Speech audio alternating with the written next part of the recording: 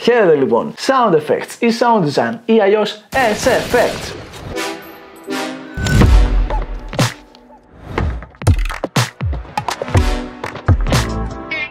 Βίντεο. What else?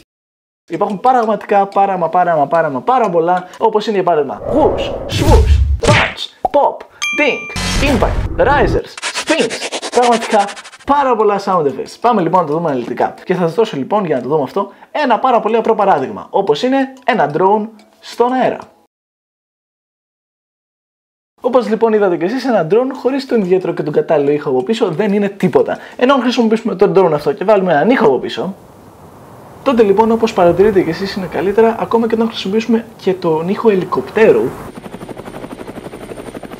λοιπόν, όπως παρατηρείτε και εσείς, προφανώς τα sound effects είναι πάρα πολύ χρήσιμα, πάρα πολύ crucial σε ένα βίντεο. Να πω την αλήθεια, μπορεί ένα βίντεο από μόνο του να φτιαχτεί με μόνο sound effects και να είναι καλύτερο από ένα βίντεο με απλή μουσική. Ήρθε λοιπόν η ώρα για να δούμε και για να σας εξηγήσω το σωστό sound design πίσω από ένα βίντεο. Αλλά πριν πάμε να το δούμε, χαστούκίστε το subscribe στους 10.000 subscribers όπως σας έχω ήδη πει, θα βγάλω τα ακουστικά μου και συνεχίζουμε.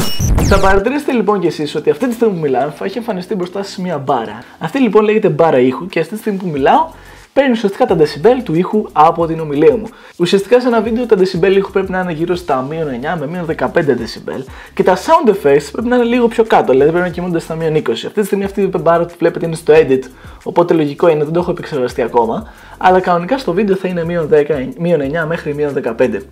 Υπάρχουν όμως αρκετές περιπτώσεις στις οποίες τα sound effects πρέπει να είναι λίγο πιο δυνατά. Για παράδειγμα, στην αρχή του βίντεο τα sound effects ήταν πιο δυνατά από τη δικιά μου ομιλία. Whoosh, swoosh, punch, pop, dink, impact, risers, spins.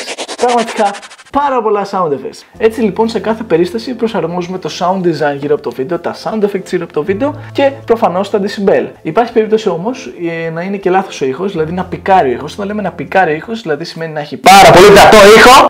Αυτό, αυτό λοιπόν σημαίνει ότι ο ήχος προφανώς έχει ξεπεράσει τα όρια, έχει ξεπεράσει τα 0 decibel στην μπάρα. Έτσι λοιπόν πικάρει και υπάρχει μια μεγάλη αλλίωση στον ήχο. Αυτό λοιπόν είναι και το πέμπτο βίντεο για εσάς. Αν σας αρέσει, προφανώς κάντε subscribe, κάντε like γιατί το εκτιμάω και με βοηθάει πάρα πολύ. Ή αλλιώς, χαστούκίστε το like και μην ξεχνάτε στους 10.000 subscribers θα βγάλω τα ακουστικά μου. Καλή συνέχεια, γεια σας, θα τα πούμε.